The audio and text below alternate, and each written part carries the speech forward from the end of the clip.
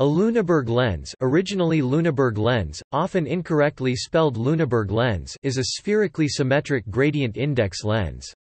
A typical Lüneburg lens's refractive index n decreases radially from the center to the outer surface. They can be made for use with electromagnetic radiation from visible light to radio waves.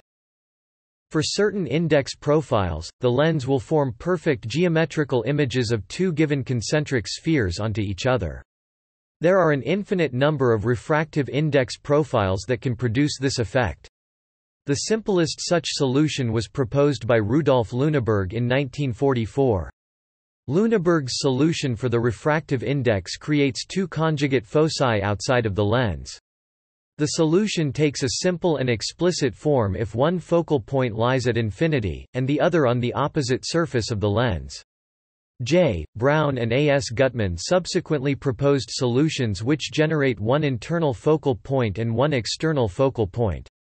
These solutions are not unique, the set of solutions are defined by a set of definite integrals which must be evaluated numerically.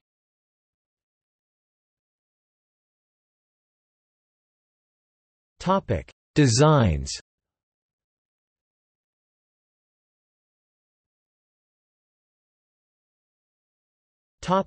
Lüneburg solution Each point on the surface of an ideal Lüneburg lens is the focal point for parallel radiation incident on the opposite side. Ideally, the dielectric constant Er display style epsilon underscore r of the material composing the lens falls from 2 at its center to 1 at its surface or equivalently, the refractive index n display style n falls from 2 display style sqrt 2 to 1 according to n equals er equals 2 minus r r 2 Display style n equals sqrt epsilon underscore r equals sqrt two left frac r r right caret two, where r display style r is the radius of the lens. Because the refractive index at the surface is the same as that of the surrounding medium, no reflection occurs at the surface. Within the lens, the paths of the rays are arcs of ellipses.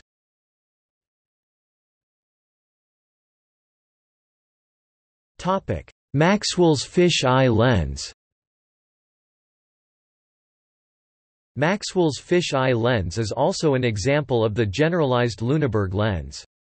The fish-eye, which was first fully described by Maxwell in 1854 and therefore pre-dates Lüneburg's solution, has a refractive index varying according to n equals er equals n 0 1 plus r r 2 Display style n equals sqrt epsilon underscore r equals frac n underscore zero one plus left frac r r right caret two. It focuses each point on the spherical surface of radius r to the opposite point on the same surface. Within the lens, the paths of the rays are arcs of circles.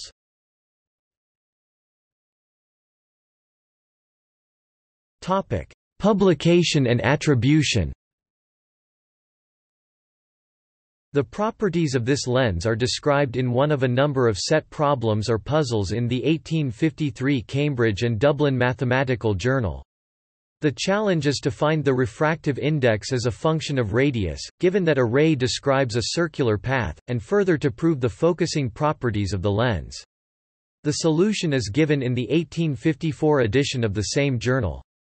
The problems and solutions were originally published anonymously, but the solution of this problem and one other were included in Niven's The Scientific Papers of James Clerk Maxwell, which was published 11 years after Maxwell's death.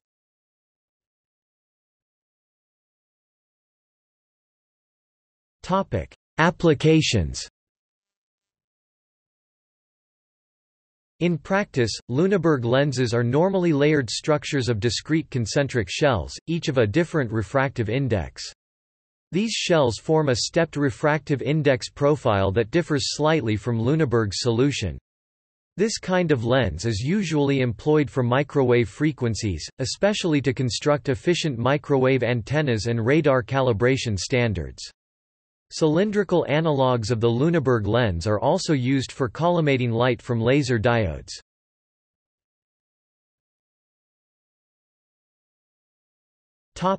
Radar reflector A radar reflector can be made from a Lüneburg lens by metallizing parts of its surface. Radiation from a distant radar transmitter is focused onto the underside of the metallization on the opposite side of the lens, here it is reflected, and focused back onto the radar station. A difficulty with this scheme is that metallized regions block the entry or exit of radiation on that part of the lens, but the non-metallized regions result in a blind spot on the opposite side.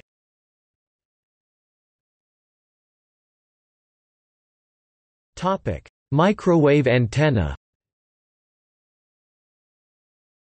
A Lüneburg lens can be used as the basis of a high-gain radio antenna. This antenna is comparable to a dish antenna, but uses the lens rather than a parabolic reflector as the main focusing element. As with the dish antenna, a feed to the receiver or from the transmitter is placed at the focus, the feed typically consisting of a horn antenna. The phase center of the feed horn must coincide with the point of focus, but since the phase center is invariably somewhat inside the mouth of the horn, it cannot be brought right up against the surface of the lens. Consequently it is necessary to use a variety of Lüneburg lens that focuses somewhat beyond its surface, rather than the classic lens with the focus lying on the surface. A Lüneburg lens antenna offers a number of advantages over a parabolic dish. Because the lens is spherically symmetric, the antenna can be steered by moving the feed around the lens, without having to bodily rotate the whole antenna. Again, because the lens is spherically symmetric, a single lens can be used with several feeds looking in widely different directions. In contrast, if multiple feeds are used with a parabolic reflector, all must be within a small angle of the optical axis to avoid suffering coma a form of defocusing. Apart from offset systems, dish antennas suffer from the feed and its supporting structure partially obscuring the main element aperture blockage. In common with other refracting systems, the Lüneburg lens antenna avoids this problem. A variation on the Lüneburg lens antenna is the hemispherical Lüneburg lens antenna or Lüneburg reflector antenna. This uses just one hemisphere of a Lüneburg lens, with the cut surface of the sphere resting on a reflecting metal ground plane. The arrangement halves the weight of the lens, and the ground plane provides a convenient means of support. However, the feed does partially obscure the lens when the angle of incidence on the reflector is less than about 45 degrees.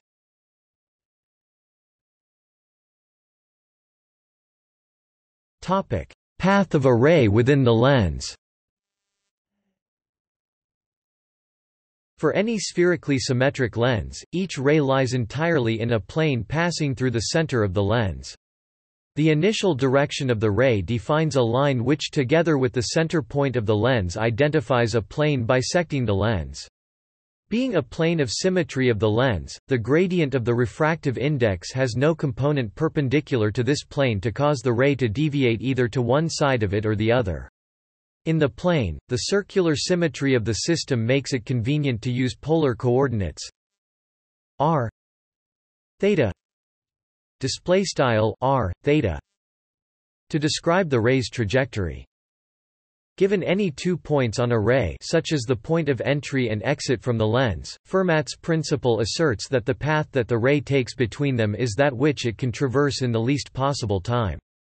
Given that the speed of light at any point in the lens is inversely proportional to the refractive index, and by Pythagoras, the time of transit between two points r 1 theta 1 display style r underscore 1 theta underscore 1 and r 2 theta 2 display style r underscore 2 theta underscore 2 is T equals R one theta one R two theta two N R C R D theta two plus D R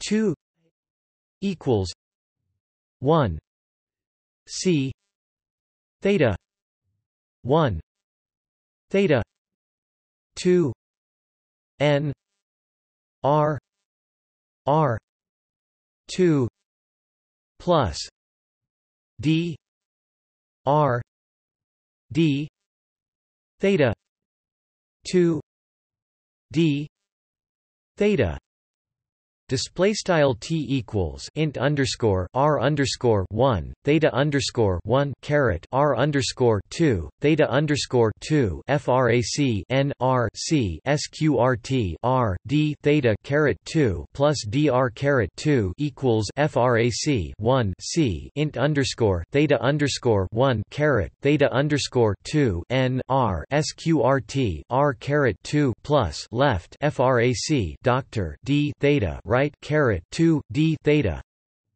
where c display style c is the speed of light in vacuum. Minimizing this t display style t yields a second order differential equation determining the dependence of r display style r on theta display style theta along the path of the ray. This type of minimization problem has been extensively studied in Lagrangian mechanics, and a ready-made solution exists in the form of the Beltrami identity, which immediately supplies the first integral of this second-order equation. Substituting L R R equals N R R 2 plus r 2 display style L R R equals N R sqrt R caret 2 plus R caret 2 where R display style R represents D R D theta. Display style tfrac doctor D theta into this identity gives n r r 2 plus r 2 minus n r r 2 r 2 plus r 2 equals H display style n r sqrt r caret 2 plus r caret 2 n r frac r caret 2 sqrt r caret 2 plus r caret 2 equals h where h display style h is a constant of integration. This first order differential equation is separable that is it can be rearranged so that r display style r only appears on one side and theta display style theta only on the other. D theta equals h r n r 2 r 2 minus h 2 d r display style d theta equals frac h r sqrt big n r big caret 2 r caret 2 h caret 2 doctor the parameter h display style h is a constant for any given ray but differs between rays passing at different distances from the center of the lens For rays passing through the center, it is zero. In some special cases, such as for Maxwell's fish eye, this first-order equation can be further integrated to give a formula for theta display style theta as a function or r display style r. In general it provides the relative rates of change of theta display style theta and r display style r which may be integrated numerically to follow the path of the ray through the lens.